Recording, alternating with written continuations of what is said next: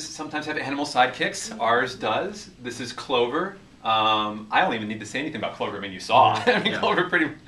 Clover, I guess, what could be considered a. Um, A fat bunny who likes to eat and is lazy and likes to just laze around and hang out. you could say that. Yeah. and that's about it. He's into anything that's e- pleasurable. He seems like he's very self-involved, but he's actually one of Sofia's biggest supporters, and he's always urging her on. And he's very. He's a bottom line bunny. It's Yeah. about what he's going to eat. It's about what you got to do. You know, keep your eye on the royal ball princess. You know, he's her. He's her biggest booster a- as long as he gets fed. He will say the most important thing in the movie to move it forward, and then he'll fall back to sleep. Yeah. and then there's Bailey.